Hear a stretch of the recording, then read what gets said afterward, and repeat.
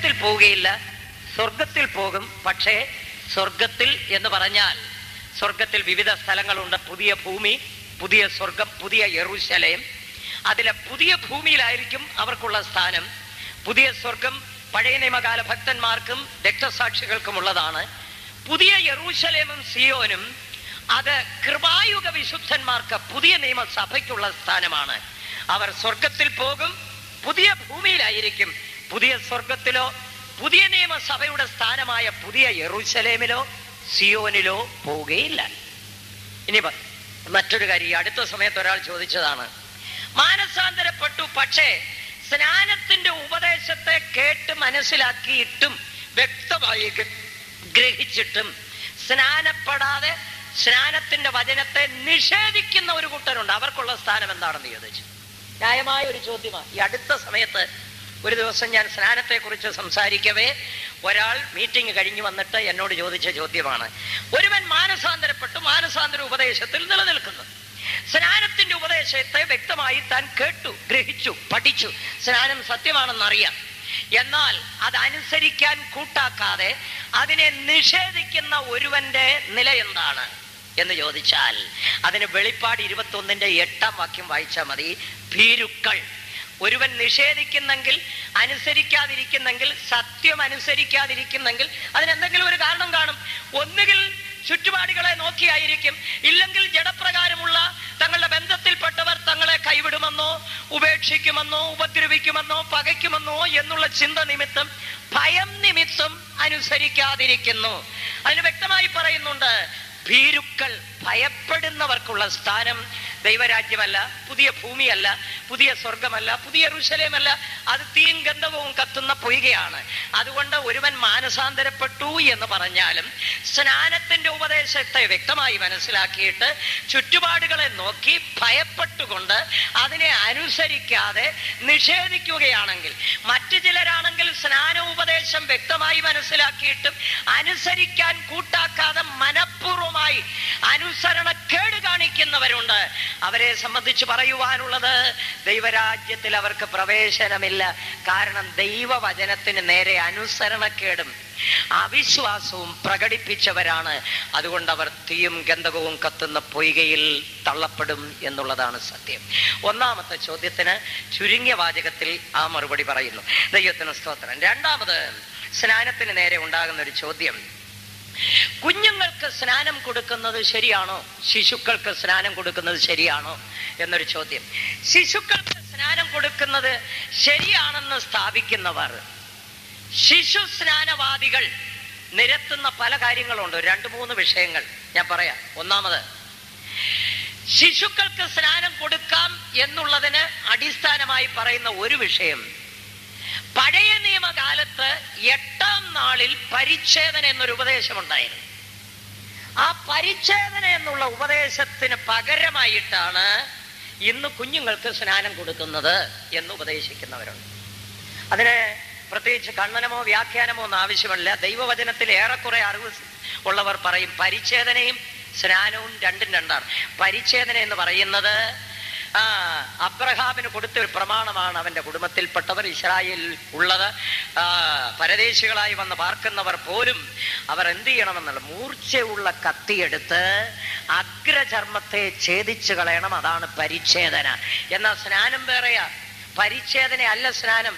സ്നാനം വേറെ പരിച്ഛേദന വേറെ. ഇത് രണ്ടും രണ്ടാണ്. പഴയ നിയമത്തിലെ പരിച്ഛേദനയ്ക്ക് ഒരിക്കലും നിഴലാകയില്ല. പുതിയ നിയമത്തിലെ സ്നാനം പഴയ നിയമത്തിൽ ശിശുക്കൾക്ക് പരിച്ഛേദന നൽകപ്പെട്ടത് കൊണ്ട് അതിന്റെ നിഴലായി പുതിയ നിയമത്തിൽ സ്നാനമാകയില്ല. സ്നാനം എന്ന് പറയുന്നത് വെള്ളത്തിൽ നിമജ്ഞനം ചെയ്യുന്ന ക്രിസ്തുവിനോട് ചേരുന്ന ദൈവരാജ്യത്തിൽ പ്രവേശിക്കുവാനുള്ള ഒരു ശുശ്രൂഷയാണ്. മറ്റേത് വേറെയാണ് ഇത് രണ്ടും രണ്ടാണ്. രണ്ടാമത് ശിശുസ്നാനവാദികൾ ചോദിക്കുന്ന നിരത്തുന്ന ഒരു ന്യായം യേശു ക്രിസ്തു ശിശുക്കളെ തന്റെ അടുക്കൽ വരുവാൻ വിടുവീൻ എന്ന് പറഞ്ഞുകൊണ്ട് അവരെ മാറോടണച്ച് അനുഗ്രഹിച്ചു. അതുകൊണ്ട് കുഞ്ഞുങ്ങൾക്ക് സ്നാനം കൊടുക്കാം. അത് തന്നെ യുക്തിക്ക് നിരക്കാത്ത ഒരു ചോദ്യം തന്നെയാ. യേശുക്രിസ്തു കുഞ്ഞുങ്ങളെ മാറോടണച്ച് അനുഗ്രഹിച്ചെന്നേ പറയുന്നുള്ളൂ. പക്ഷേ സ്നാനം കൊടുത്തതായിട്ട് അവിടെ എങ്ങും പറയുന്നില്ല. ദൈവ ശിശുക്കളെ തന്റെ അടുക്കൽ വരുവാൻ വിടുവിൻ. അവരെ തടുക്കരുത്. ദൈവരാജ്യം ഇങ്ങനെയുള്ളവരുടേതല്ലയോ എന്ന് പറഞ്ഞ് അവരെ അനുഗ്രഹിച്ചു എന്ന് വായിക്കുന്നുണ്ട്. ദൈവത്തിന് സ്തോത്രം. ശിശുക്കളെ കരങ്ങളിൽ എടുത്ത് അനുഗ്രഹിച്ചു. അത് സ്നാനത്തിന് നിഴലാകുന്നില്ല. ശിശു സ്നാനവാദികൾ നിരത്തുന്ന മറ്റൊരു വിഷയമുണ്ട്. കുടുംബം സ്നാനപ്പെട്ടു. അപ്പോസ്തോല പ്രവർത്തി പതിനാറാം അധ്യായത്തിൽ ലുതിയായും കുടുംബവും സ്നാനപ്പെട്ടു. കാരാഗ്രഹ പ്രമാണിയും കുടുംബവും സ്നാനപ്പെട്ടു. ആ കുടുംബത്തിൽ കുഞ്ഞുങ്ങൾ കാണാൻ ഇടയുണ്ട്. അതുകൊണ്ട് കുഞ്ഞുങ്ങൾക്ക് സ്നാനം കൊടുക്കാം. അതൊരു ന്യായമായ ചോദ്യമാണ്. അതിന് മറുപടി പറയേണ്ടതാ കുടുംബം എന്ന് പറയുമ്പോൾ കുഞ്ഞുങ്ങൾക്കാണ് അപ്പോ അതിന് എനിക്കൊരു ചോദ്യം മറുപടി പറയാനുണ്ട്. കുഞ്ഞുങ്ങളില്ലാത്ത കുടുംബത്തെ കുറിച്ച് വേദപുസ്തകത്തിൽ പറയുന്നല്ലോ. ഉൽപ്പത്തി പുസ്തകത്തിലേക്ക് കടന്നു വരുമ്പോൾ അതിന്റെ അൻപതാം അധ്യായത്തിൽ ഉൽപ്പത്തി പുസ്തകം അൻപതാം അധ്യായത്തിന്റെ എട്ടാം വാക്യം വായിക്കുമ്പോൾ അവിടെ ആ എട്ടാം വാക്യം ഒന്ന് വായിച്ചേ. കുഞ്ഞുങ്ങളില്ലാത്ത കുടുംബത്തെ കുറിച്ച് പറയും ഇസ്രായേൽ ദേശത്തിലെ പ്രമാണികളും യോസഫിന്റെ അവന്റെ സഹോദരന്മാരും പിതൃഭവനവും. അവനോടുകൂടെ പോയി. പോയി. തങ്ങളുടെ കുഞ്ഞുകുട്ടികളെയും ആടുമാടുകളെയും മാത്രം അവർ ഗോശൻ ദേശത്ത് വിട്ടേച്ചു പോയി. കുഞ്ഞുകുട്ടികളെയും ആടുമാടുകളെയും ഗോശൻ ദേശത്ത് വിട്ടിട്ട് യോസഫിന്റെ കുടുംബവും സഹോദരന്മാരും അവരുടെ കുടുംബവും ഒക്കെ പോയെന്ന് പറയുന്നു. കുഞ്ഞുകുട്ടികൾ ഇനി ഗോശൻ ദേശത്ത് കിടക്കുക. അപ്പൊ കുഞ്ഞുകുട്ടികളും ആടുമാടുകളും ഇല്ലെങ്കിൽ തന്നെയും കുടുംബം എന്ന് വിളിക്കുന്നു. ഇനി രണ്ട് ശമുവൽ മൂന്നാം അധ്യായത്തിന്റെ ഒന്നാം വാക്യത്തിൽ അവിടെ വായിക്കുന്നുണ്ട്. യോസഫ് ഗ്രഹവും അല്ല സോറി ഷൗലിന്റെ ഗ്രഹവും ദാവീദിന്റെ ഗ്രഹവും തമ്മിൽ ദീർഘകാലം യുദ്ധം നടന്നു എന്ന്. ദാവീദിന്റെ ഗ്രഹവും ഷൗലിന്റെ ഗ്രഹവും എന്ന് പറയുമ്പോൾ അല്ലെങ്കിൽ ഷൗലിന്റെ കുടുംബവും ദാവീദിന്റെ കുടുംബവും എന്ന് പറയുമ്പോൾ അതിനകത്ത് ഇരുപത്തെട്ട് ദിവസം പ്രായമുള്ള ഒരു കുഞ്ഞും വാളെടുത്ത് യുദ്ധം ചെയ്യാൻ പോയി എന്ന് ന്യായമായി ചിന്തിക്കാൻ വകയില്ല. അപ്പൊ അതില്ലെങ്കിൽ തന്നെയും കുടുംബം എന്നായി കഴിഞ്ഞു. അതുകൊണ്ട് കുടുംബം എന്ന് പറയുന്നത് കൊണ്ട് കുഞ്ഞുങ്ങൾ ഉണ്ടായിരിക്കണമെന്ന് തെളിയിക്കുവാൻ നിവർത്തിയില്ല ദൈവത്തിന് സ്വാതന്ത്ര്യം ഇനി മറ്റൊരു വിഷയം കൂടെ ഉണ്ട്. കുടുംബം എന്ന് പറയുമ്പോൾ കുഞ്ഞുങ്ങൾ മാത്രമല്ല അവിടെ ആടുമാടുകളും കന്നുകാലികളും വേണ്ടി വന്നാൽ വീട്ടിൽ വളർത്തുന്ന നായും കൂടെ അത് കുടുംബത്തിൽ പെട്ടതാ. വീട്ടുപകരണങ്ങൾ കൂടെ കുടുംബത്തിൽ പെട്ടതാ. കുടുംബവും സ്നാനപ്പെട്ടു എന്ന് പറയുമ്പോൾ ഇതെല്ലാം സ്നാനപ്പെട്ടു എന്ന് ആരും വിശ്വസിക്കുവാൻ നിവർത്തിയില്ല അതുകൊണ്ട് കുടുംബം എന്ന് പറയുമ്പോൾ കുഞ്ഞുങ്ങളുണ്ടെന്ന് ഒരിക്കലും സ്ഥാപിക്കുവാൻ വഴിയില്ല. ദൈവത്തിന് സ്തോത്രം. അടുത്തതായി കുഞ്ഞുങ്ങൾക്ക് സ്നാനം കൊടുക്കുന്ന ഉപദേശം എന്നാണ് ക്രിസ്തീയ സഭയിൽ പ്രവേശിച്ചത്. ഇതൊക്കെ നിങ്ങൾ അല്പസ്വല്പം അറിഞ്ഞിരിക്കുന്നത് നല്ലതാണ്. ദൈവത്തിന് സ്തോത്രം. ശിശുക്കൾക്ക് സ്നാനം കൊടുക്കുന്ന ഉപദേശം ഒന്നാം നൂറ്റാണ്ടിൽ സഭയിൽ ഇല്ലായിരുന്നു. ഒന്നാം നൂറ്റാണ്ടിൽ സഭയിൽ ഉണ്ടായിരുന്നെങ്കിൽ അപ്പോസ്തോല പ്രവർത്തികളിലോ ലേഖനങ്ങളിലോ എവിടെങ്കിലും എഴുതി ചേർക്കുമായിരുന്നു. ഒരിടത്തും കാണുന്നില്ല. വേദപുസ്തകത്തിൽ സ്നാനത്തിന് നിഴലായ വിഷയങ്ങൾ പഠിക്കുമ്പോഴും പൊരുളായ ഉപദേശങ്ങൾ പഠിക്കുമ്പോഴും അവിടെ ഒരിടത്ത് പോലും കുഞ്ഞുങ്ങൾക്ക് സ്നാനം കൊടുത്തതായി നമുക്ക് എങ്ങും കാണുവാൻ കഴിയുന്നില്ല. പിന്നെ ക്രിസ്തീയ സഭയിൽ ഇത് എപ്പോൾ എങ്ങനെ പ്രവേശിച്ചു എന്ന് ചോദിക്കാം. സഭാചരിത്രം പഠിക്കുമ്പോൾ മനസ്സിലാകും മൂന്നാം നൂറ്റാണ്ട് തുടങ്ങിയാണ് ക്രിസ്തീയ സഭയിൽ ശിശുക്കൾക്ക് സ്നാനം എന്നൊരു ഉപദേശം കടന്നുകൂടിയത്. അതിന് പശ്ചാത്തലം ഇതാണ്. ഞാൻ മുമ്പേ പറഞ്ഞതുപോലെ കുസ്തന്തീനോസ് ചക്രവർത്തിയുടെ കാലത്ത് മാനസാന്തരം കൂടാതെ മതപരിവർത്തനം നടത്തി അനേകരെ ക്രിസ്തു സഭയിലേക്ക് ചേർത്തപ്പോൾ സ്നാനപ്പെടുത്തി ചേർക്കണം എന്നൊരു ഉപദേശം ഉള്ളത് കൊണ്ട് അവർ കണ്ടിട്ടുള്ള സ്നാനം ആകെക്കൂടെ കണ്ടിട്ടുള്ള സ്നാനം ബാബിലോണ്യരുടെ സ്നാനമാണ്. ബാബിലോണ്യ മതത്തിൽ ഇപ്രകാരം ഒരു ആചാരം ഉണ്ടായിരുന്നു ഒരു ശിശു ജനിച്ചാൽ ആ ശിശുവിനെ എട്ടാം ദിവസം സൂര്യോദയത്തിന് നേരെ കൊണ്ടുപോയി ഒരു കല്ലിന്മേൽ വെച്ച് ഏഴ് പ്രാവശ്യം വെള്ളം തളിക്കണം എന്നൊരു പാരമ്പര്യം ഒരാചാര്യം ആചാരം ബാബിലോണ്യരുടെ ഇടയിൽ ഉണ്ടായിരുന്നു അവരുടെ വിശ്വാസം ഇങ്ങനെയാണ്. സൂര്യ ഭഗവാന് അഥവാ അഥവാ നിമ്രോദ് ദേവന് ഈ ശിശുവിനെ പ്രതിഷ്ഠിക്കുന്നു എന്നാണ് അതുകൊണ്ട് അവർ അർത്ഥമാക്കുന്നത്. ഉദയസൂര്യന്റെ നേരെ ഒരു കല്ലിന്മേൽ വെച്ച് ഈ കുഞ്ഞിനെ ഏഴ് പ്രാവശ്യം വെള്ളം തളിക്കും. അപ്പൊ കുസ്തന്തീനോസ് ചക്രവർത്തി സ്നാനപ്പെടണമെന്നുള്ള കാര്യം മനസ്സിലായി. എന്നാൽ സ്നാനം എങ്ങനാണെന്നുള്ള കാര്യം വ്യക്തമായിട്ട് മനസ്സിലാകാതെ വന്നപ്പോൾ കണ്ടിട്ടുള്ള ഈ തളിപ്പ് ഈ കുഞ്ഞുങ്ങൾക്കുള്ള സ്നാനം അതിഞ്ഞോട്ട് പകർത്തിയെടുത്ത് ക്രിസ്തീയ സഭയിലാക്കിയതാണ്. മൂന്നാം നൂറ്റാണ്ട് തുടങ്ങിയുള്ള ശിശു സ്നാനവും തളിപ്പ് സ്നാനവും. ദൈവത്തിന് സ്തോത്രം. നിങ്ങൾ തന്നെ തളിപ്പ് സ്നാനക്കാരോടും അല്ലെങ്കിൽ ശിശു സ്നാനക്കാരോട് ചോദിച്ചാൽ ഇതെങ്ങനെ വന്നു? ദൈവവചനത്തിന്റെ അടിസ്ഥാനമാണോ എന്ന് ചോദിച്ചാൽ അവർ പറയും ഇല്ല ഇത് പിതാക്കന്മാരുടെ പാരമ്പര്യമാണെന്ന്. പിതാക്കന്മാരുടെ പാരമ്പര്യമാണ് ബൈബിളിൽ എഴുതിയിട്ടുള്ളതല്ല എന്നവർ വ്യക്തമായി പറയും. ദൈവത്തിന് സ്തോത്രം. ക്രിസ്തീയ സഭയിൽ ശിശു സ്നാനം പ്രവേശിക്കുവാൻ ഉണ്ടായ പശ്ചാത്തലം ഇതാണ്. ഇനി ദൈവവചനത്തിലേക്ക് കടന്നു വരാം. സ്നാനം ആർക്കാണ് ശിശുക്കൾക്കാണോ മുതിർന്നവർക്കാണോ? ബൈബിൾ വളരെ വ്യക്തമായി പഠിപ്പിക്കുന്നുണ്ട്. സ്നാനം ശിശുക്കൾക്കുമല്ല മുതിർന്നവർക്കുമല്ല വിശ്വസിക്കുന്നവർക്കാണ്. ക്രിസ്തു എന്ന് പറഞ്ഞിരിക്കുന്നു എന്ന് നോക്കാം. മർക്കോസ് പതിനാറ് പതിനാറ് വിശ്വസിക്കുകയും സ്നാനമേൽക്കുകയും ചെയ്യുന്നവൻ രക്ഷിക്കപ്പെടും. ഇനി ക്രിസ്തു പറഞ്ഞിരിക്കുന്ന മറ്റൊരു വാക്യം നോക്കാം. മാത്തായുടെ സുവിശേഷം ഇരുപത്തിയെട്ടിന്റെ ഇരു പതിനെട്ട് മുതലുള്ള വാക്യങ്ങൾ. യേശു ക്രിസ്തുവിന്റെ സ്വർഗാരോഹണത്തിന് മുൻപ് തന്റെ ശിഷ്യന്മാരെ വിളിച്ചുകൊണ്ട് ഒരു മലയിലേക്ക് കയറിപ്പോയി. ചിലർക്ക് അവർക്ക് ചില കൽപ്പനകൾ കൊടുത്തിട്ട് ഏറ്റവും ഒടുവിൽ നൽകുന്ന പരമപ്രധാനമായ കൽപ്പന ഇങ്ങനെയാണ്.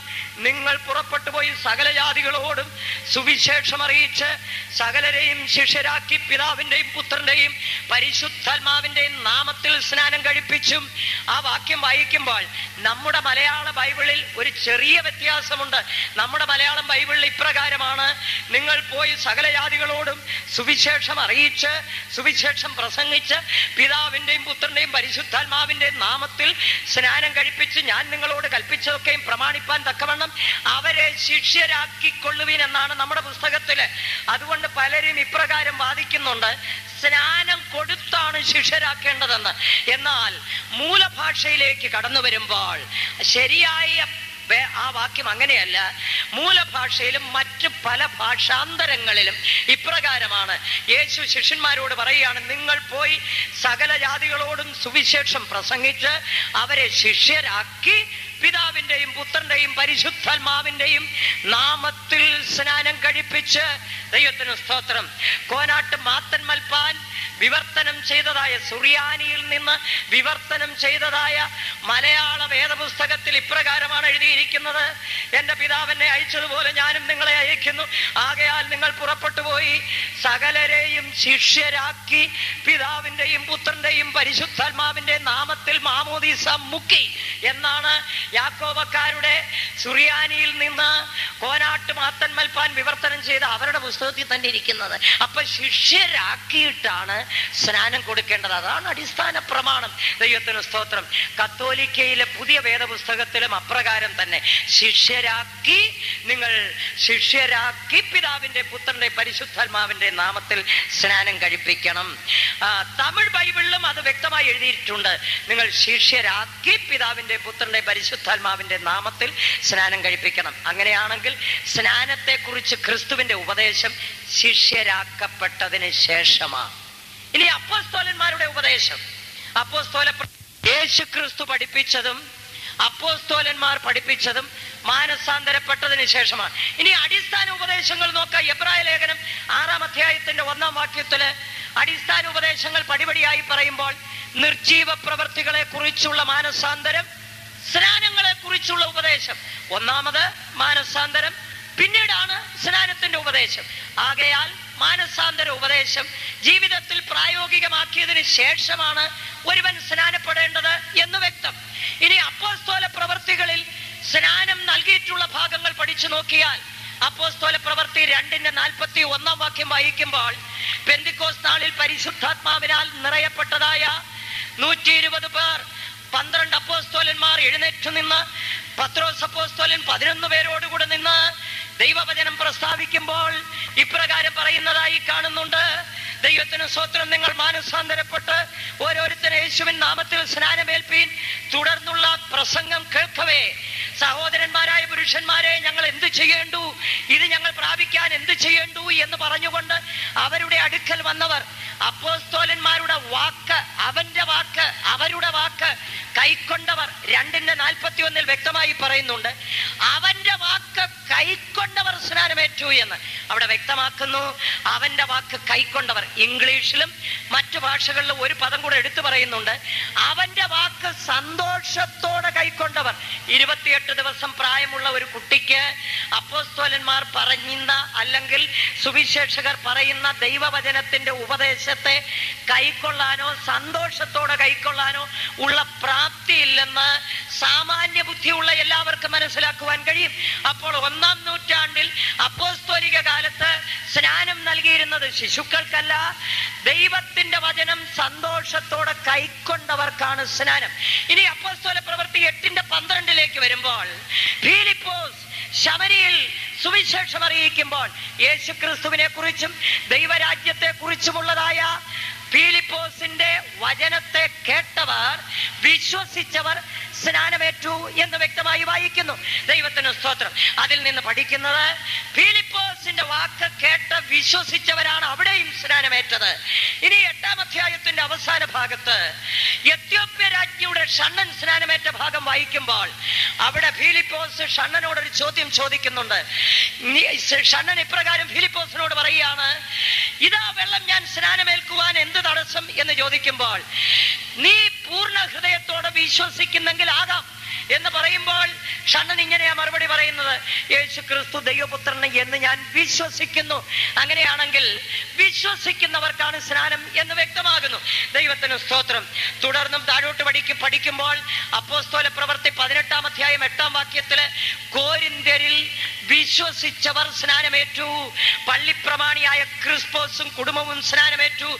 വിശ്വസിച്ച് സ്നാനമേറ്റു എന്ന് വായിക്കുന്നു. അപ്പോസ്തോല പ്രവർത്തി ഒൻപതാം അധ്യായത്തിൽ ശൗൽ പൗലോസായി തീർന്ന ശൗലിന്റെ സ്നാനം ഡെമസ്കോസിന്റെ പടിക്കൽ വെച്ച് യേശു ക്രിസ്തുവിനെ കണ്ടുമുട്ടി ക്രിസ്തുവിൽ വിശ്വസിച്ച് മാനസാന്തരപ്പെട്ടതായ ശൗൽ സ്നാനമേറ്റു.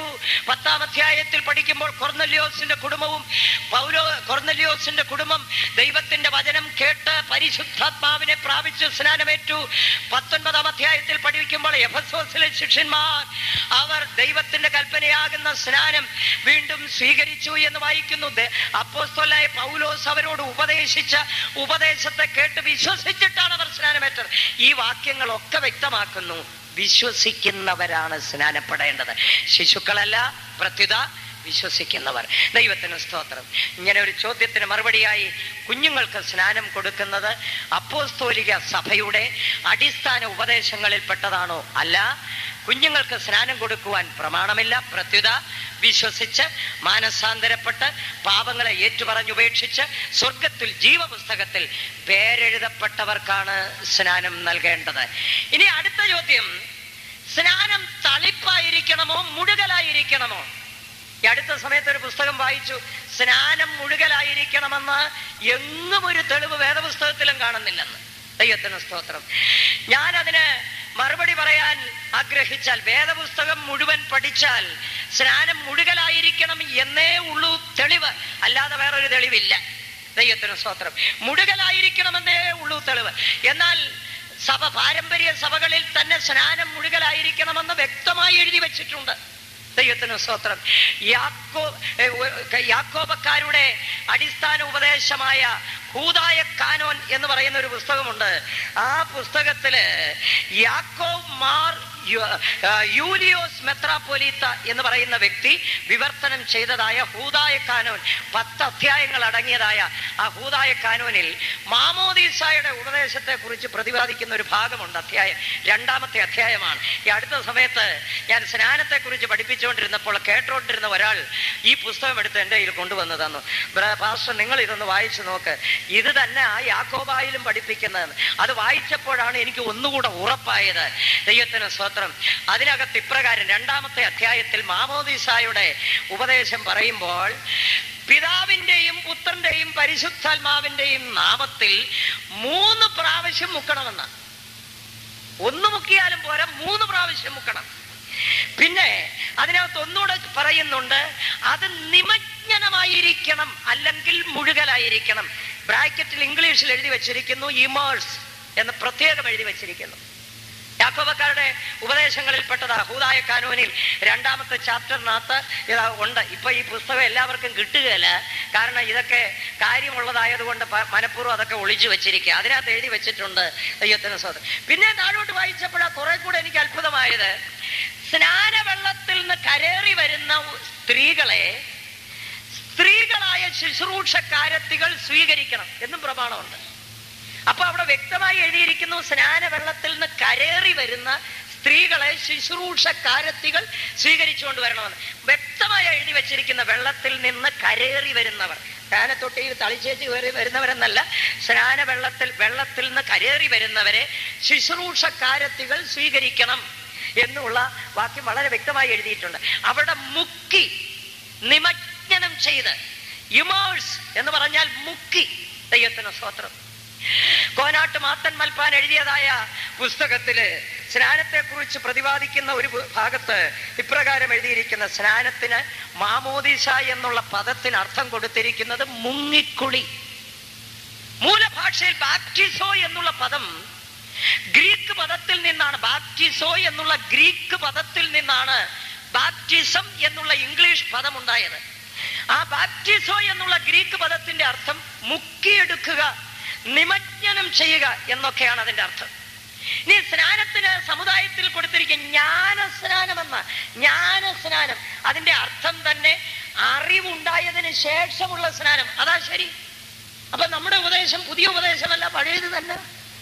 അപ്പൊ നമ്മുടേതാ ശരി നമ്മൾ പാലിക്കുന്ന ശരി. അവരുടെ പുസ്തകത്തിൽ ഇത് എഴുതി വച്ചിരിക്കുന്നതല്ലാതെ പാലിക്കുന്നില്ല എന്നുള്ളതാണ് സത്യം. ദൈവത്തിന് സ്തോത്രം. ആകയാൽ സ്നാനം മുഴുകൽ തന്നെ ആയിരിക്കണം എന്ന് പാരമ്പര്യ സഭകളുടെ പുസ്തകത്തിലും എഴുതി വെച്ചിരിക്കുന്നു. ദൈവവചനവും അത് വ്യക്തമായി പറയുന്നു. കർത്താവായ യേശു ക്രിസ്തു ഏറ്റ സ്നാനം മുഴുകൽ സ്നാനമായിരുന്നു. ആ മത്തായുടെ സുവിശേഷം മൂന്നാം അധ്യായം പഠിക്കുമ്പോൾ അതിന്റെ അവസാന ഭാഗത്ത് യോഗന്നാന്റെ കൈ കീഴിൽ യേശു സ്നാനമേറ്റ ഭാഗത്തെ കുറിച്ച് പറയുന്നുണ്ട്.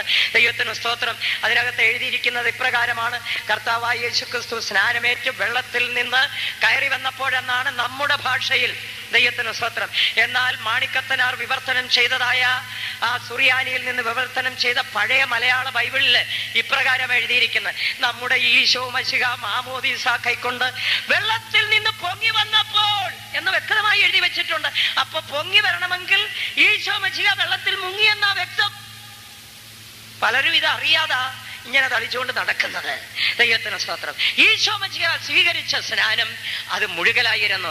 സ്നാനത്തിന്റെ ഉപദേശവുമായി സ്നാനം കൊടുക്കുവാൻ ദൈവത്താൽ ആദ്യമായി നിയോഗിച്ച് അയക്കപ്പെട്ട വ്യക്തി യോഗന്നാൻ സ്നാപകനാണ്. സ്നാന യോഗന്നാൻ സ്നാപകൻ മാതൃകയായി കാണിച്ച സ്നാനം മുഴുകലായിരുന്നു. യേശു സ്വീകരിച്ച സ്നാനം മുഴുകലായിരുന്നു. ഒന്നാം നൂറ്റാണ്ടിൽ ദൈവത്തിന്റെ സഭയിൽ നിലനിന്ന സ്നാനം മുഴുകലായിരുന്നു. സ്നാനത്തിന്റെ ഉപദേശത്തെക്കുറിച്ച് അപ്പോസ്തലനായ പൗലോസ് പറയുമ്പോൾ റോമാലേഖനം ആറാം അധ്യായത്തിൽ വളരെ വ്യക്തമായി പറയുന്നുണ്ട് അവന്റെ മരണത്തിൽ പങ്കാളികളായി തീർന്ന സ്നാനത്തിൽ അവനോടുകൂടെ കുഴിച്ചിടപ്പെട്ടു കുഴിച്ചിടപ്പെട്ടു. സ്നാനം എന്ന് പറഞ്ഞാൽ കുഴിച്ചിടിയില്ല മണ്ണുവാരി ഇടിയിലല്ല. അട മരിച്ച ഒരു മൃതശരീരത്തെ ആറടി നീളം നാലടി ആഴം രണ്ടടി വീതി ഉള്ളതായ ഒരു കുഴിയെടുത്ത് അതിനകത്ത് ഇറക്കി വെച്ച് നല്ലതുപോലെ മണ്ണിട്ട് ഉറപ്പിക്കുന്ന ആ പ്രക്രിയക്കാണ് കുഴിച്ചെടിയിൽ അടക്കം എന്ന് പറയുന്നത്. അങ്ങനെയാണെങ്കിൽ സ്നാനം അടക്കമാണ്. അങ്ങനെയാണെങ്കിൽ അത് മുഴുകലാണ്. ഒരു മൃതശരീരവും ആരും സെമിത്തേരിയിൽ കൊണ്ടുപോയി വെച്ച് രണ്ട് മണ്ണ് വാരിയിട്ടേച്ച് പോകുന്നില്ല. അതുകൊണ്ടാണ് ഞങ്ങൾ പറയുന്നത് സ്നാനം മുഴുകൽ തന്നെയാണ് അത് കുഴിച്ചിടിയിലാണ്. ദൈവത്തിന് സ്തോത്രം. ഈ വാക്യങ്ങളൊക്കെ ഈ വസ്തുതകളൊക്കെ തെളിയിക്കുന്നത് സ്നാനം മുഴുകലായിരിക്കണം തളിപ്പായിരിക്കരുത് എന്നുള്ളതാണ്. ദൈവത്തിന് സ്തോത്രം. ഇനി അടുത്തതായി സ്നാനത്തെ കുറിച്ച് ചോദിക്കുന്ന ഒരു ചോദ്യം. അക്ഷരാർത്ഥത്തിൽ വെള്ളത്തിൽ പോയി മുങ്ങേണ്ട ആവശ്യമുണ്ടോ? ഇതൊരു വലിയ ചോദ്യമാണ്. ഈ വചനത്തോടു കൂടിയ ജലസ്നാനം എന്ന് പറയുന്നത് വെള്ളം എന്നുകൊണ്ട് ഉദ്ദേശിക്കുന്ന ദൈവവചനമല്ലേ ആ ദൈവവചനത്തിൽ മുങ്ങി മുഴുകിയിരുന്ന പോരെ. അല്ലാതെ പിന്നീട് വെള്ളത്തിൽ പോയി മുങ്ങണ്ട നിങ്ങൾ പറയുന്നത് പോലെ ഏതെങ്കിലും ഒരു ആറ്റിലോ ഏതെങ്കിലും ഒരു തോട്ടിലോ പോയി വെള്ളത്തിൽ മുങ്ങണ്ട ആവശ്യമില്ല. ദൈവവചനത്തിൽ മുഴുകിയിരുന്നാൽ പോരെ. ആ ചോദ്യത്തിന് മറുപടി പറയുമ്പോൾ രണ്ടായി തിരിച്ചു പറയണം. സ്നാനം എന്നുള്ളതിനെ രണ്ട് നിലയിൽ തിരിച്ചു പഠിക്കണം. അത് മനസ്സിലാകണമെങ്കിൽ പഴയ നിയമത്തിലെ സമാഗമന കൂടാരത്തിലേക്ക് വരണം. സമാഗമന കൂടാരത്തിൽ പ്രാകാരത്തിൽ ഒരു പിച്ചളത്തൊട്ടി ഇരിപ്പുണ്ട്. ആ പിച്ചളത്തൊട്ടിയിലെ കഴുകൽ രണ്ട് നിലയിലാണ്. ഒന്ന് പൗരോഹിത്യ ശുശ്രൂഷയ്ക്കായി വേർതിരിക്കപ്പെട്ട ഒരു വ്യക്തി ലേവി ഗോത്രത്തിൽപ്പെട്ടവൻ അവൻ ആ സമാഗമന കൂടാരത്തിന്റെ വാതിൽക്കൽ വന്ന് ഏകവാതിലിലൂടെ അകത്ത് കടന്ന് വാ- പ്രാകാര വാതിൽക്കൽ വെച്ചിരിക്കുന്നതായ യാഗപീഠത്തിങ്കൽ യാഗാർപ്പണം നടത്തി പിച്ചളത്തൊട്ടിയിലെ വെള്ളത്തിൽ കഴുകൽ പ്രാപിക്കണം. കഴുകൽ പ്രാപിക്കുന്നതിന് മുൻപേ അവന്റെ പഴയ വസ്ത്രം മുഴുവൻ ഉരിഞ്ഞു കളഞ്ഞ് അവൻ ശരീരം മുഴുവൻ കഴുകി പൗരോഹിത്യ വസ്ത്രം ധരിച്ച് തൈലത്താൽ അഭിഷേകം ചെയ്യണം. അത് ഒരിക്കലായി അവന്റെ ശരീരത്തിൽ ഉണ്ടാകുന്ന കഴുകലാണ്. എന്നാൽ ഇനി രണ്ടാമതൊരു കഴുകലുണ്ട്.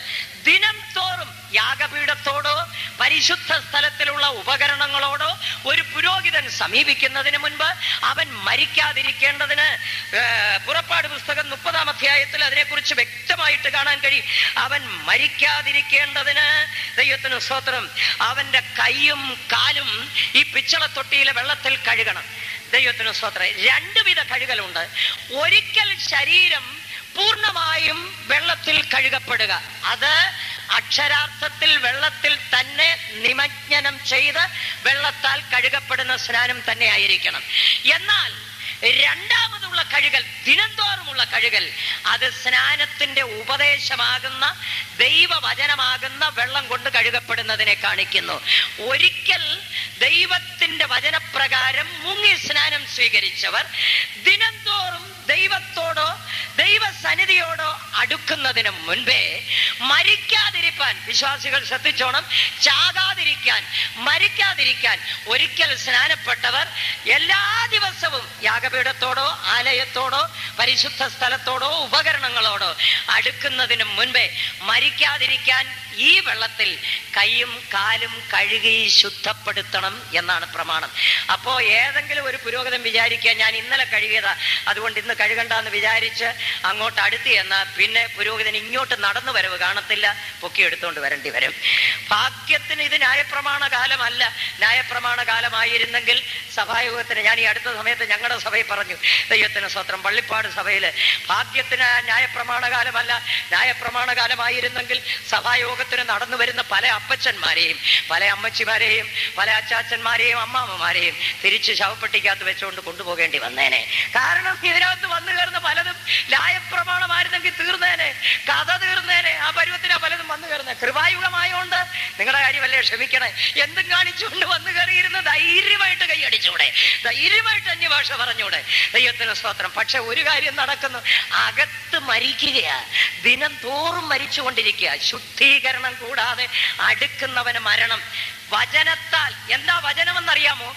സ്നാനത്തിന്റെ ഉപദേശം എങ്ങനെയാണെന്ന് എങ്ങനെയാണെന്നറിയാമോ റോമാലേഖന ആറാം അധ്യായം പതിനൊന്നാം വാക്യമാണ് ഈ വെള്ളം എന്ന് പറയുന്നത്. ആ പതിനൊന്നാം വാക്യം ഒന്ന് വായിച്ചേ. നിങ്ങൾ കഴുകേണ്ടുന്നതായ വചനം വായിക്കാം. അവണ്ണം നിങ്ങളും പാപസംബന്ധമായി മരിച്ചവരെന്നും ക്രിസ്തുയേശുവിൽ ദൈവത്തിന് ജീവിക്കുന്നവരെന്നും നിങ്ങളെ തന്നെ എണ്ണുവീൻ. എണ്ണുവീൻ. എന്താ എണ്ണിക്കൊണ്ട് ജീവിക്കേണ്ടത് പാപസംബന്ധമായി മരിച്ചവൻ. ക്രിസ്തുവേശുവിൽ ദൈവത്തിനായി ജീവിക്കുന്നവൻ. പാപസംബന്ധമായി മരിച്ചവൻ. ക്രിസ്തുവേശുവിൽ ദൈവത്തിനായി ജീവിക്കുന്നവൻ. ഇപ്രകാരം എണ്ണി എണ്ണിക്കൊണ്ട് ജീവിക്കണം. ദിവസം തോറും എണ്ണണം. കഴിഞ്ഞ മാസം എണ്ണി എന്ന് പറഞ്ഞുകൊണ്ട് ഇന്ന് എണ്ണൽ നിന്നുപോയാൽ തീർന്നുപോയി എന്നാണ് അർത്ഥം. ദിനംതോറും എണ്ണിക്കൊണ്ട് ജീവിക്കണം. അതാണ് സ്നാനത്തിന്റെ ഉപദേശം എന്ന് പറയുന്ന സ്നാനത്തിന്റെ വചനം എന്ന് പറയുന്ന വെള്ളം. ഇതിനുള്ളിൽ ദിനംതോറും കൈയും കാലും എന്ന് പറഞ്ഞാൽ നടപ്പും പ്രവർത്തികളും. ഇതിനുള്ളിൽ കഴുകി ശുദ്ധീകരിച്ച് വെടിപ്പാക്കിയിട്ട് വേണം ദൈവത്തോട് അടുക്കുവാൻ. ഇല്ലെങ്കിൽ മരണം സംഭവിക്കും എന്നുള്ളത് വ്യക്തമാണ്. അതുകൊണ്ട് ഒരു ഭാഗത്ത് ഒരിക്കൽ സ്നാനപ്പെടുമ്പോൾ അക്ഷരാർത്ഥത്തിൽ വെള്ളത്തിൽ മുങ്ങി സ്നാനപ്പെടുകയും തുടർന്ന് അനുദിന ജീവിതത്തിൽ സ്നാനത്തിന്റെ ഉപദേശമാകുന്ന വചനമാകുന്ന വെള്ളത്താൽ ശുദ്ധീകരിക്കപ്പെട്ടുകൊണ്ട് ജീവിക്കുകയും ചെയ്യണം. ഈ ഏറ്റുപറച്ചിൽ കൊണ്ടുണ്ടാകുന്ന ഗുണം എന്താണെന്നറിയാമോ പാപം അടുത്തു വരാതെ സൂക്ഷിക്കാം. ദൈവത്തിന് സ്വത്രം പാപത്തിന്മേൽ ജയം ഉണ്ടാകണമെങ്കിൽ ഈ ഏറ്റുപറച്ചിൽ ഉണ്ടാകണം. ഞാൻ പാപസംബന്ധമായി മരിച്ചു. ഞാൻ ക്രിസ്തു യേശുവിൽ ദൈവത്തിനായി ജീവിക്കുന്നു. ദൈവത്തിന് സ്വത്രം ഞാൻ ചോദിക്കട്ടെ മരിച്ച ഒരു വ്യക്തിയുടെ മരിച്ച ഒരു വ്യക്തിയുടെ വായിലേക്ക് ഒരു നൂറ് കുപ്പി ചാരായം നൂറ് എന്ന് പറഞ്ഞ നൂറ് കുപ്പിയല്ല നൂറ് മില്ലിയുടെ ഒരു കുപ്പി പൊട്ടിച്ചവന്റെ വായിലോട്ട് ഒഴിച്ചു കൊടുക്കുക കുടിക്കുമോ ഇല്ല ഇറക്കുകയില്ല. മരിച്ച ഒരു വ്യക്തിയുടെ വായിലേക്ക് ഒരു ചാർമിനാർ കത്തിച്ചു വെച്ചുകൂടെ വലിക്കത്തില്ല. മരിച്ച ഒരു വ്യക്തിയെ നിങ്ങളുടെ വീട്ടിലുള്ള ടി വിയുടെ മുൻപാകെ ഞായറാഴ്ച വൈകിട്ട് ഏഴരയ്ക്കുള്ള സീരിയൽ കണ്ട് ആസ്വദിക്കാൻ കൊണ്ടുപോയി ഇരുത്തി നോക്ക് അവൻ തലകുലുക്കുമോ? നോ. ഇല്ല അതിന്റെ അർത്ഥം മരിച്ച ഒരു വ്യക്തിക്ക് ഇത് സാധ്യമല്ല എന്ന്. ഇതുപോലെ ഏറ്റു പറഞ്ഞുകൊണ്ട് ഞാൻ മരിച്ചതാണ്. ഞാൻ പാപത്തിന് മരിച്ചു മദ്യത്തിന് മരിച്ചു പുകവലിക്ക് മരിച്ചു സിനിമയ്ക്ക് മരിച്ചു കള്ളത്തിന് മരിച്ചു അസൂയയ്ക്ക് മരിച്ചു പകയ്ക്ക് മരിച്ചു വിദ്വേഷത്തിന് മരിച്ചു പിണക്കത്തിന് മരിച്ചു. മരിച്ചു മരിച്ചു മരിച്ചു മരിച്ചു എന്ന് ഇങ്ങനെ ഏറ്റു പറഞ്ഞുകൊണ്ട് ജീവിക്കുമ്പോൾ നമ്മുടെ ഉള്ളിൽ തന്നെ നമുക്കൊരു ചിന്താഗതി ഉണ്ടായി ഒരു വിശ്വാസം ഉണ്ടായി ഞാൻ മരിച്ചതാണെന്ന്. ദൈവത്തിന് സ്വത്രം മരിച്ചതുപോലെ കിടക്കുകയാണെങ്കിൽ പാപത്തിന്റെ പരീക്ഷ വന്നാൽ ജയിക്കാം. പലർക്കും പരാതി. ഞാൻ സ്നാനപ്പെട്ടു പക്ഷെ പല പരീക്ഷകളെയും ജയിക്കാൻ കഴിയുന്നില്ല. അതിന്റെ കാരണം മരിച്ചു എന്നുള്ള ഏറ്റുപറച്ചിൽ ജീവിതത്തിൽ നഷ്ടപ്പെട്ടു പോയത് കൊണ്ടാണ്. മല്ലന്റെയും മാധേവന്റെയും കഥ പഠിച്ചിട്ടുണ്ടോ. അതറിയാൻ വയ്യാത്തവർ ചുരുക്കമാണ്. ഒരിക്കൽ വനത്തിലൂടെ മല്ലനും മാധേവനും കൂടെ നടന്നു പോവുകയായിരുന്നു പോലും. മല്ലൻ കരുത്തനായ മനുഷ്യൻ. മാധേവൻ അത്ര കരുത്തനല്ല പക്ഷെ ബുദ്ധിമാൻ. പെട്ടെന്ന് ഇങ്ങനെ നടന്നു പോകവേ ഒരു കരടി ചാടി വീണു പോലും. മല്ലൻ ചാടി അടുത്തു കണ്ട മരത്തിലേക്ക് കയറി. മാധേവനോ മരം കയറ്റം വശമില്ലാഞ്ഞതുകൊണ്ട് അവിടെ കിടന്നു പോലും. കരടി വന്നപ്പോൾ ബുദ്ധിപൂർവമായി മാധേവൻ ഇങ്ങനെ മലർന്ന് കാലുകൾ നിവർത്തി വെച്ച് കൈകൾ ചേർത്ത് വെച്ച് കണ്ണടച്ച് ശ്വാസം പിടിച്ച് ഇങ്ങനെ കിടന്നു. കരടി വന്ന് പാദം തൊട്ട് തല വരെ മണപ്പിച്ചു നോക്കി. ചത്ത ശവത്തെ കരടി തിന്നുകയില്ല അതുപോലെ തിരിച്ചങ്ങ് പോയി. കരടി തിരിച്ചു പോയി. അപ്പൊ ഈ ഏറ്റുപറച്ചില്ല ജയം ജയജീവിതം പാപവും കൊണ്ട് സാത്താൻ വരും. തമ്പിയുടെ ഹൃദയം എന്നും പറഞ്ഞൊരു പുസ്തകമുണ്ട് മനുഷ്യ ഹൃദയം. അതിനകത്ത് ചില പടങ്ങളുണ്ട്. പാപത്താൽ കഠിനപ്പെട്ട ഹൃദയം ക്രിസ്തു ഉള്ളിലേക്ക് വരുന്ന ഹൃദയം ക്രിസ്തു ഉള്ളിലേക്ക് വന്നതിന് ശേഷം വീണ്ടും പാപത്താൽ പരീക്ഷിക്കപ്പെടുന്ന ഹൃദയം. ഓരോ സാത്താൻ ഓരോ പാപത്തെയും പിടിച്ചുകൊണ്ട് ഹൃദയത്തിന്റെ ചുറ്റും ഇങ്ങനെ വന്നു നിൽക്കുക. അവസരം കിട്ടുമ്പോൾ അകത്തോട്ട് കടത്തിവിടാനായിട്ട്. ഇതുപോലെ മാനസാന്തരപ്പെട്ട സ്നാനപ്പെട്ട ദൈവമക്കളുടെ ഉള്ളിലേക്ക് വീണ്ടും ഉപേക്ഷിച്ച പാപങ്ങളെ കടത്തിവിടുവാൻ അവസരം പാർത്തുകൊണ്ട് സാത്താൻ നോക്കി നിൽക്കുന്നു. അപ്പോൾ നിങ്ങൾ ഏറ്റു പറഞ്ഞു കൊള്ളണം ഞാൻ മരിച്ചവൻ ഞാൻ മരിച്ചവൻ ഞാൻ മരിച്ചവൻ. എന്ന് ഏറ്റു പറഞ്ഞുകൊണ്ടിരിക്കാമെങ്കിൽ പരിശുദ്ധ ജീവിതം ഉണ്ടാകും ജയജീവിതം ഉണ്ടാകും. ഈ ഏറ്റുപറച്ചിലില്ലാതെ അമ്പത്തിയാറ് ഞാൻ സ്നാനപ്പെട്ടതാണെന്നും പറഞ്ഞ് നെടുക കയറി നടക്കുക. ഉള്ള പാവം എല്ലാം കൂടെ പിന്നെയും വലിഞ്ഞ് തലേ കയറി. പിന്നാലും കയ്യടിയുണ്ട് പ്രാർത്ഥനയുണ്ട്. ദൈവത്തിന് സ്വത്രം അകത്ത് പറഞ്ഞു നോക്കി അകത്ത് നോക്കിയാൽ ശവം. ആത്മീകമായി മരിച്ച അവസ്ഥ. ആകയാൽ അനുദിന ജീവിതത്തിൽ ഉപദേശം ജീവിതത്തിൽ ഉണ്ടായിരിക്കണം. എന്നാൽ അക്ഷരാർത്ഥത്തിൽ ദൈവത്തിന്റെ വചനപ്രകാരം വെള്ളത്തിൽ മുങ്ങി സ്നാനമേൽക്കുകയും ചെയ്യണം. ഇനി അടുത്ത ചോദ്യം.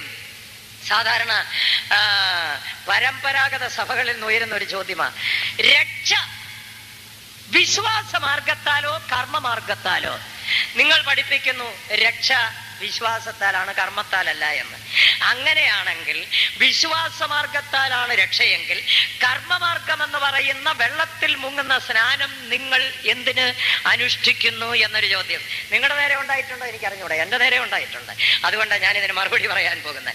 രക്ഷ. വിശ്വാസത്തോടു കൂടിയ കർമ്മമാർഗത്താലാണ് രക്ഷ. ദൈവത്തിന് സ്തോത്രം രക്ഷ വിശ്വാസത്തോട് കൂടിയ ധർമ്മമാർഗത്താൽ ദൈവത്തിന് സ്തോത്രം അതുകൊണ്ട് വിശ്വാസത്താൽ മാത്രമല്ല വിശ്വാസത്തോടു കൂടിയ കർമ്മമാർഗത്താൽ. ആകയാൽ സ്നാനം എന്നുള്ള കർമ്മ ഉപദേശം മനുഷ്യ ജീവിതത്തിൽ അത്യന്താപേക്ഷിതമാണ്. ഇനി അടുത്ത ചോദ്യത്തിലേക്ക് വരികയാണ്. സ്നാനപ്പെട്ടവർ ആഭരണമൂരണമോ? നമ്മുടെ ഇടയിലും ചിലരുടെ ഉള്ളിൽ തന്നെ ഉള്ളിൽ എല്ലാവരുടെയും കാര്യമല്ല. കൊച്ചുകുട്ടികളുടെ പ്രത്യേകിച്ച് കോളേജിൽ പഠിക്കുന്ന ഈ അടുത്ത സമയത്ത് അതുകൊണ്ടാണ് ഞാനിത് വ്യക്തമായി പറയുന്നത്. അടുത്ത സമയത്ത് ഒരാൾ വന്ന് പറഞ്ഞു നമ്മുടെ ഒരു വിശ്വാസിയുടെ മകളെക്കുറിച്ച്. മൂന്നാം തലമുറയാണ് കോളേജിൽ പ്രീ ഡിഗ്രിക്ക് പഠിക്കുകയാണ്.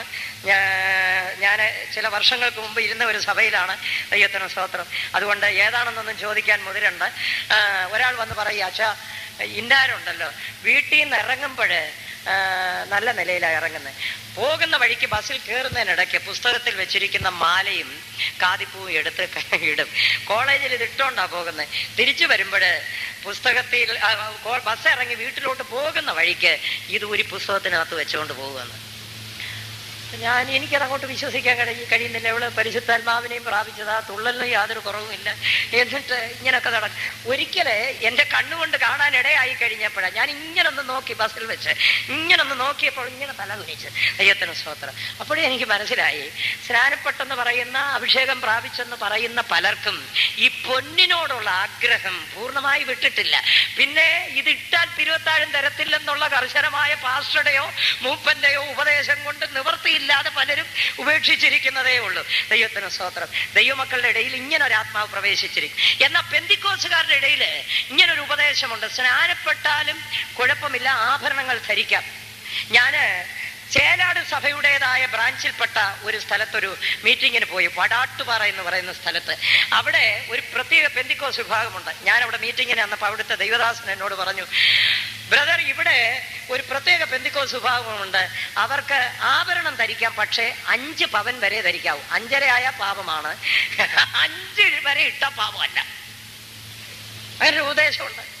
ഈ അടുത്ത സമയത്ത് ഗൾഫിൽ നിന്ന് ആരംഭിച്ച ഒരു പെന്തിക്കോസ് വിഭാഗത്തിലും അങ്ങനെ ഒരു ഉപദേശമുണ്ട് പോലെ. സ്നാനപ്പെട്ടതിന് ശേഷവും ഇങ്ങനെ ഇട്ടുകൊണ്ട് നടക്കുന്നവർ. ദൈവത്തിന് സ്തോത്രം. സ്നാനപ്പെട്ടവർ ആഭരണം ധരിക്കാമോ? പെന്തിക്കോസുകാർ പോലും ഉപദേശത്തെ ലഘുവാക്കി കളയുന്നു ദൈവത്തിന് സ്തോത്രം. ഇനി യാക്കോബായ സഭയുടെ ഉപദേശത്തിലേക്ക് നമുക്ക് കടന്നു വരാം. ഞാൻ മുമ്പേ പറഞ്ഞല്ലോ ഈ ഹൂതായ എഴുതി വെച്ചിരിക്കുന്നു അതുകൂടെ വായിച്ചപ്പോഴാണ് എനിക്ക് വലിയ സന്തോഷമുണ്ടായത്. അതിനകത്ത് എഴുതി വെച്ചിരിക്കുന്നു മാമോദീസ മുങ്ങുന്ന സ്ത്രീ പുരുഷന്മാർ മാല കമ്മൽ മോതിരം തുടങ്ങിയതായ ആഭരണങ്ങൾ ഊരി വെച്ചതിന് ശേഷം വേണം സ്നാനപ്പെടാൻ. ഊരി വെച്ചതിന് ശേഷം വേണം മാമോദീസ മുങ്ങാൻ വളരെ വ്യക്തമായി എഴുതി വെച്ചിട്ടുണ്ട്. അവിടെ എഴുതി വെച്ചിരിക്കുന്നത് ആനപ്പെടുന്നതിന് മുമ്പേ ഊരി വെക്കണമെന്ന്. ദൈവത്തിന് സ്തോത്രം. അപ്പൊ ചിലർ വിചാരിക്കുന്നത് ആനപ്പെടുന്നതിന് മുമ്പേ ഊരി വെച്ച് വെച്ച് പെട്ടെന്ന് പിന്നെ എടുത്തിടാമെന്ന്. പെടുമ്പ ഊരണമെന്നുള്ളതേ ഉള്ളതാ അങ്ങനല്ല അതിന്റെ പ്രമാണം. സ്നാനമേറ്റ ഒരു വ്യക്തിക്ക് അവന്റെ ശരീരം ക്രിസ്തുവിനോട് ചേർന്നിരിക്കയാൽ ക്രിസ്തുവിനെ ധരിച്ചിരിക്കയാൽ ഭൗമികമായ അലങ്കാരം പാടില്ല. പഴയ നിയമകാലത്ത് പഠിക്കുമ്പോൾ ചെങ്കടൽ കടന്ന ഇസ്രായേൽ ജനം നേരെ മരുഭൂമിയിലേക്കാണ് പ്രവേശിച്ചത്. അതിനൊരാത്മീയ അർത്ഥമുണ്ട്. ചെങ്കടലാകുന്ന സ്നാനം കഴിഞ്ഞ് പ്രവേ കടക്കുന്ന ഒരു വ്യക്തി മരുഭൂമിയിലേക്ക് എന്ന് പറഞ്ഞാൽ ഇനി സഹാറ മരുഭൂമി പോയി താമസിക്കണമെന്നല്ല രാജസ്ഥാനിലെ താർ മരുഭൂമി പോയി താമസിക്കണമെന്നല്ല. ദൈവത്തിന്റെ വചനപ്രകാരം സ്നാനമേറ്റ ഒരു വ്യക്തിക്ക് സ്നാനമേറ്റ് വെള്ളത്തിൽ നിന്ന് പൊങ്ങി വന്ന് പാദം വെക്കുന്നത് മരുഭൂമിയുടെ ഒരു അവസ്ഥയെ പോലെ കൊട്ടാരക്കര പിന്നെ മരുഭൂമിയെ പോലെ ലോകത്തിലെ സുഖങ്ങളെല്ലാം മരുഭൂമിയെ പോലെ ആഡംബരങ്ങളെല്ലാം മരുഭൂമിയെ പോലെ എല്ലാം മരുഭൂമിയെ പോലെ ഒരു വിരക്തി ഒരു വെറുപ്പ് അവന്റെ ഉള്ളിന്റെ ഉള്ളിൽ ഉണ്ടാകുന്നു എന്നാണ് അതിന്റെ അർത്ഥം. അത് ഉണ്ടായിട്ടില്ലെങ്കിൽ സ്നാനപ്പെട്ട് വെള്ളത്തിൽ നിന്ന് പൊങ്ങി വന്നപ്പോൾ ലോകത്തോടും ലോകത്തിന്റെ ആഡംബരങ്ങളോടും ലോകത്തിന്റെ മോഹങ്ങളോടും ഒരു വിരക്തിയും വെറുപ്പും ഉണ്ടായില്ലെങ്കിൽ സ്നാനപ്പെട്ട സ്നാനം ശരിയല്ലെന്നാ. നീ അങ്ങനെ വെറുപ്പുണ്ടായവരൊന്ന് കൈവെക്കാമോ? ഞാൻ ധ്യാനപ്പെട്ട് വെള്ളത്തിൽ നിന്ന് പൊങ്ങി വന്ന മരുഭൂമിയിലേക്കാ പിന്നെ കാൽ വയ്ക്കുന്നതെല്ലാം എനിക്ക് മരുഭൂമി പോലെ തോന്നുന്നു എന്ന് പറയാൻ കഴിയുന്നവരൊന്ന് കൈവക്കാമോ? ഒരല്ലേ പറയാമോ? കണ്ടണ്ട തന്റെ ഇടത്തോടെ പറഞ്ഞോ? അങ്ങനെ പ്രാഗൽഭ്യമുള്ളവർ. കൈ ഉയർത്തിയ അല്ലേലിയ പറഞ്ഞോ? അപ്പൊ ഇനി ഒന്നുകൂടെ ധ്യാനപ്പെടണമെന്നാ തോന്നുന്നേ. പലരും ദൈവത്തിന് സ്തോത്രം അതാണ് അതിന്റെ ഉപദേശം. അതാണ് അതിന്റെ പ്രമാണം. അവൻ മരുഭൂമിയിലേക്ക് കാലുവയ്ക്കുന്നു ദൈവത്തിന് സ്തോത്രം. ലോകത്തോടൊരു വെറുപ്പ് ലോകത്തോടൊരു വിരക്തി ദൈവത്തിന് സ്തോത്രം. ലോകത്തിന്റെ മോഹങ്ങളോടൊരു വെറുപ്പ് ജീവിതത്തിൽ ഉണ്ടായിരിക്കണം. ഇനി പഴയ നിയമത്തിൽ ഇതിനെ സംബന്ധിച്ചുള്ള ഉപദേശം എന്താണെന്ന് ചോദിക്കാം നോക്കാം. പുറപ്പാട് പുസ്തകം മുപ്പത്തി മൂന്നാം അധ്യായം ആറാം വാക്യം പഠിക്കുമ്പോൾ അവിടെ ആഭരണത്തെ കുറിച്ചുള്ള ഉപദേശത്തെ കാണാം. മുപ്പത്തി മൂന്നിന്റെ ആറാം വാക്യം ഒന്ന് വായിക്കാം. അങ്ങനെ ഹോരേ പർവതത്തിങ്കൽ തുടങ്ങി. ഇസ്രായേൽ മക്കൾ ആഭരണം ധരിച്ചില്ല. ഓരേബ് പർവതത്തിൽ തുടങ്ങി ഇസ്രായേൽ മക്കൾ ആഭരണം ധരിച്ചില്ല. അടുത്തത്. ഇല്ലേ അതിന്റെ മുകളിലത്തെ അഞ്ചാം വാക്യം ഒന്ന് വായിച്ചേ. നിങ്ങൾ ദുശാഠ്യമുള്ള ജനമാകുന്നു. നിങ്ങൾ ദുശാഠ്യമുള്ള ജനമാകുന്നു. ഞാൻ ഒരു നിമിഷ നേരം നിന്റെ നടുവിൽ ഒരു നിമിഷ നേരം നിന്റെ നടുവിൽ നടന്നാൽ നിന്നെ സംഹരിച്ചു കളയും. അടുത്തത്. അതുകൊണ്ട് ഞാൻ നിന്നോട് എന്ത് ചെയ്യണമെന്ന് അറിയേണ്ടതിന് നിന്നോട് എന്ത് ചെയ്യണമെന്ന് അറിയേണ്ടതിന്? നീ നിന്റെ ആഭരണം നീക്കിക്കളക. ആഭരണം നീക്കിക്കളക. അപ്പൊ ഇത് ഇടുന്ന ആരാ? ആരാ? അയ്യോ അവിടെ തന്നെ പറഞ്ഞിട്ടുണ്ട്. ആ വാക്യത്തിന്റെ ആരംഭത്തിൽ പറഞ്ഞിട്ടുണ്ട്. ദുശാഠ്യമുള്ള ആരാ? നിങ്ങൾ ദുശാഠ്യമുള്ള നിങ്ങൾ ദുശാഠ്യമുള്ള ജനം. ആര്? ആഭരണം ഇടുന്നവർ ദുശാഠ്യമുള്ളവർ. അതുകൊണ്ട് ദുശാഠ്യമുള്ളവരായി ഇത് ഇടുന്നത്. രണ്ടാമത് ഞാൻ നിങ്ങളോട് എന്ത് അരുളി ചെയ്യണം എന്ത് കൽപ്പിക്കണമെന്ന് നിങ്ങൾ അറിയേണ്ടതിന് ആഭരണങ്ങളെ നീക്കിക്കളക എന്ന് പറയുമ്പോൾ ഓരേബ് തുടങ്ങി അവർ ധരിച്ചില്ല. ഇനി പുതിയ നിയമത്തിലേക്ക് വരാം. ഒന്ന് തിമോത്യോസ് രണ്ടാം അധ്യായത്തിന്റെ ഒൻപത് മുതലുള്ള വാക്യങ്ങൾ അവിടെ വായിക്കുന്നു. നിങ്ങളുടെ അലങ്കാരം എന്താണെന്ന്. വായിക്കാം. അവണ്ണം സ്ത്രീകളും യോഗ്യമായ വസ്ത്രം. അത് അത് അതല്പം ഒന്ന് ഇരുത്തി ചിന്തിക്കേണ്ടതാ. യോഗ്യമായ വസ്ത്രം. അവണ്ണം സ്ത്രീകളും. അപ്പൊ പുരുഷന്മാർക്കോ അവർക്കും വേണം യോഗ്യമായത്. യോഗ്യമായ വസ്ത്രം ഏതാണ്? ദൈവത്തിന് സ്തോത്രം. അപ്പൊ പലർക്കും പലതും യോഗ്യമായി തോന്നുന്നു. അയോഗ്യമായി തോന്നുന്നില്ല. ഒരിക്കൽ ഒരാൾ ഒരു കടുവാപ്പുള്ളി ഇട്ടുകൊണ്ട് വന്നേച്ച പറയാണ് എനിക്കിത് യോഗ്യമായി തോന്നുന്നു. അപ്പൊ എന്താ പറയുന്നത് പുള്ളിക്ക് അത് യോഗ്യമായി തോന്നി അത് അയോഗ്യമാണെന്ന് പറയാൻ ഞാനാണല്ലോ. അങ്ങനെ യോഗ്യമായി തോന്നുക. ദൈവത്തിന് സ്തോത്രം. ഈ അടുത്ത സമയത്ത് ഒരു ഒരു ബെന്തിക്കോസുകാരുടെ കല്യാണത്തിന് പങ്കെടുക്കാനിടയായി. ഏത് ബെന്തിക്കോസാന്ന് ദീപ് പെന്തക്കോസ് തന്നെ. ഒരു പയ്യന്റെ കല്യാണം. ആ കല്യാണത്തിന് ആ വീട്ടിലെ ആറ് സഹോദരിമാര് യൗവനക്കാരായ സഹോദരിമാര്. മൂന്ന് പെൺമക്കളും മൂന്ന് മരുമക്കളും. ആറ് പേരെ ഒരുമിച്ച് ഒരുപോലെ ഒരുങ്ങി ഇറങ്ങി വരുന്നത് കണ്ടു. കടും മഞ്ഞയുള്ള സാരിയും കടും പച്ച ബോർഡറുള്ള സാരി അതിന് പറ്റിയതായ ഒരു ബ്ലൗസും അതിന് പറ്റിയ ഒരു വാനിറ്റി ബാഗും അതിന് പറ്റിയ ചെരുപ്പ് ഇട്ടുകൊണ്ട് ഈ ആറെണ്ണം നിരന്ന് വന്ന് ഇളയ പയ്യന്റെ കല്യാണത്തിന് ഹോളിലോട്ട് കയറി പോകുന്ന കണ്ടപ്പോൾ എനിക്ക് ശ്വാസം നിലച്ചു പോയി പിന്നെ പിന്നെ അരമണിക്കൂർ കഴിഞ്ഞാൽ ശരിക്കും ശ്വാസം എടുക്കാൻ കഴിഞ്ഞത്. ദൈവത്തിന് സ്തോത്രം. എന്നാൽ സഭായോഗത്തിന് വരുമ്പോ തൂവെള്ളയാ വെള്ളയാ. സഹോദരി തൂവെള്ളയാ ദൈവത്തിന് സ്തോത്രം. എന്നാൽ കല്യാണത്തിന് പോകുമ്പോഴാണ് പലരുടെയും ലോകസ്നേഹം വേണ്ട വേണ്ട ലോക ഇൻപം എന്ന് പാട്ടി ആത്മാവി നിറയുന്ന സഹോദരിമാർക്ക് വേണോ വേണ്ടായോ എന്ന് അറിയണമെങ്കിൽ കല്യാണത്തിന് പോകുമ്പോൾ നോക്കണം. ദൈവത്തിന് സ്തോത്രം. അവിടെ വ്യക്തമായി പറയുന്നുണ്ട് യോഗ്യമായ വസ്ത്രം ധരിച്ച് എന്ന് പറഞ്ഞാൽ ഒരു വിശുദ്ധന് യോഗ്യമായ ഒരു വിശുദ്ധ സ്ത്രീക്ക് യോഗ്യമായത് നിങ്ങൾ തെരഞ്ഞെടുത്തോ വിവേചിച്ചെടുത്തോ. ബാക്കി ഞാൻ പറയുന്നില്ല സ്വയം വില വിലയിരുത്തിയാൽ മതി. അവണ്ണം സ്ത്രീകളും യോഗ്യമായ വസ്ത്രം ധരിച്ച് ലജ്ജാശീലത്തോടെ അടുത്തത്. സുബാധത്തോടെ തങ്ങളെ അലങ്കരിക്കണം. അടുത്തത്. പിന്നിയ തലമുടി. കേട്ടോ? നിർത്തി നിർത്തി വായിച്ചാൽ ഉപകാരമായിരിക്കും. പിന്നിയ തലമുടി. പാസ്റ്റർ ടി വി തോമാച്ചാൻ പറയും തലമുടി രണ്ടായിട്ട് പിന്നി ഒന്നെടുത്ത് മുമ്പോട്ടും ഒന്നെടുത്ത് പുറകോട്ടും. ചിലര് രണ്ടും എടുത്ത് മുമ്പോട്ട് ഇട്ടാൽ എരുമമാടിന്റെ കൊമ്പ് പോലെ ഇരിക്കുമെന്ന്. ഏതൊരു സ്തോത്രം. അദ്ദേഹം മരിച്ചുപോയി. ഉണ്ടായിരുന്ന കാലത്ത് അദ്ദേഹം ഇങ്ങനെ പറയുമായിരുന്നു പോലും. പിന്നിയ തലമുടി. അടുത്തത്? പൊന്ന്. മുത്ത്. മുത്ത്. ആ. അതുകൊണ്ട് വിലയേറിയ വസ്ത്രം. ദൈവത്തിന് സ്തോത്രം നമ്മുടെ ചില സഹോദരി സഹോദരന്മാർക്ക് പൊന്നടിച്ചുരുട്ടി കയ്യിൽ ഇട്ടുകൊണ്ട് നടക്കുന്നില്ല എന്നുള്ളതേ ഉള്ളൂ. ഒരു സാരി ഇരുപത്തി എണ്ണായിരത്തിന്റെതേ ഉടുക്കുള്ളൂ. അത് കുറഞ്ഞാൽ പറ്റത്തില്ല. അത് ദിവസം തോറും ഓരോന്ന് വേണം. ഒരിക്കൽ ഒരു സഹോദരിയെ പെന്തിക്കോസുകാരി സഹോദരിയെ കുറിച്ച് പറഞ്ഞതാണ് പറഞ്ഞു കേട്ടതാണ് അച്ഛാ നൂറ്റി എൺപത് സാരി അവർക്കുണ്ടായിരുന്നു. അതിൽ ഇതുവരെയും എടുക്കാത്തത് വർഷങ്ങളായി വാങ്ങി വെച്ചിരിക്കുന്ന ഇപ്പോഴും ഉണ്ടെന്ന്. അതുകൊണ്ടാണ് ഞാൻ പറഞ്ഞത് അവരും കൈയടിച്ച് പാടുന്നുണ്ട്. വേണ്ട വേണ്ട ലോക ഇപ്പം. ഞാൻ ഇപ്പൊ പറക്കുമെന്നാ പറയുന്നേ. അയ്യത്തന സ്തോത്രം. വിലയേറിയ വസ്ത്രം. പൊന്ന് വെള്ളി വിലയേറിയ വസ്ത്രം എന്നിവ കൊണ്ടല്ല. എന്നാൽ ഒന്ന് പത്രോസ് മൂന്നാം അധ്യായത്തിൽ വ്യക്തമായി പറയുന്നുണ്ട് നിങ്ങളുടെ അലങ്കാരം തലമുടി പിന്നുന്നതും പൊന്നണിയുന്നതും വസ്ത്രം ധരിക്കുന്നതും ഇങ്ങനെ പുറമേയുള്ളതല്ല. ദൈവത്തിന് സ്തോത്രം. ഇനി ആ തിമോത്യോസിലെ രണ്ടാം അധ്യായത്തിലെ ഒരു വാക്യം വിട്ടുപോയി. ദൈവഭക്തിയെ സ്വീകരിക്കുന്ന സ്ത്രീകൾ എന്തുകൊണ്ട് അലങ്കരിക്കേണ്ടതെന്ന്? രണ്ടാം അധ്യായത്തിലെ ആ വാക്യം ദൈവഭക്തിയെ സ്വീകരിക്കുന്ന സ്ത്രീകൾ എന്താ അലങ്കാരം? ദൈവഭക്തിയെ സ്വീകരിക്കുന്ന സ്ത്രീകളുടെ അലങ്കാരം സൽപ്രവർത്തികൾ. അതാണ് പത്രോസിന്റെ ലേഖനത്തിൽ വ്യക്തമായി പറയുന്നത്. സൗമ്യത സാവധാനത എന്ന അക്ഷയഭൂഷണമായ ഹൃദയത്തിന്റെ ഗൂഢമനുഷ്യൻ തന്നെ ആയിരിക്കണം. ആകയാൽ ദൈവത്തിന്റെ കൽപ്പനയാകുന്ന സ്നാനം സ്വീകരിച്ച ഒരു വ്യക്തി ഈ ലോകത്തെ വെറുത്ത് ലോകത്തെ പകച്ചുകൊണ്ട് ജീവിക്കണം. റോമാലേഖനം പന്ത്രണ്ടാം അധ്യായത്തിൽ പറയുന്നത് പോലെ ഈ ലോകത്തിന് അനുരൂപപ്പെടാതെ നന്മയും പൂർണതയും പ്രസാദവുമുള്ള ദൈവഹിതം എന്ന് തിരിച്ചറിയുവാൻ മനസ്സ് പുതുക്കി രൂപാന്തരപ്പെട്ടുകൊണ്ട് ജീവിക്കുന്ന ഒരു നിലവാരം ഉണ്ടാകട്ടെ ദൈവത്തിന് സ്തോത്രം. സ്നാനത്തിന്റെ ഉപദേശത്തെ സംബന്ധിച്ച് ഇപ്രകാരമുള്ള ചോദ്യങ്ങൾക്ക് വചനത്തിൽ വ്യക്തമായ മറുപടി കാണുന്നുണ്ട്. സ്നാനം ദൈവരാജ്യത്തിൽ എന്ന് പറഞ്ഞാൽ പുതിയ റുശലേമിൽ പ്രവേശിക്കുവാൻ. സ്നാനം മുഴുകലായിരിക്കണം. സ്നാനം വിശ്വസിച്ചതിന് ശേഷമായിരിക്കണം. മാനസാന്തരപ്പെട്ടതിന് ശേഷമായിരിക്കണം. സ്നാനം അക്ഷരാർത്ഥത്തിൽ വെള്ളത്തിൽ മുങ്ങി തന്നെ ആയിരിക്കണം. അത് വിശ്വാസത്തോടുകൂടിയ പ്രവൃത്തിയായിരിക്കണം. മാത്രമല്ല അനുദിന ജീവിതത്തിൽ സ്നാനത്തിന്റെ ഉപദേശമാകുന്ന വെള്ളത്തിൽ കൈകളും കാലുകളും കഴുകി വിശുദ്ധീകരിക്കുന്നവരായിരിക്കണം. ഇപ്രകാരം സ്നാന ഉപദേശത്തെ ജീവിതത്തിൽ പാലിച്ചുകൊണ്ട് ജീവിക്കണം. ഇപ്രകാരം സ്നാനപ്പെട്ടവർ ലോകത്തെ വെറുത്ത ലോകത്തെ പകച്ചുകൊണ്ട് ദൈവത്തെ സ്നേഹിച്ചൊരു ജീവിതം നയിക്കണം. സ്നാനത്തിന്റെ ആവശ്യകത എന്ത് എന്ന് ചോദിക്കുമ്പോൾ യോഹന്നാന സുവിശേഷം മൂന്നിന്റെ അഞ്ചിൽ അത് ദൈവരാജ്യത്തിൽ പ്രവേശിക്കുക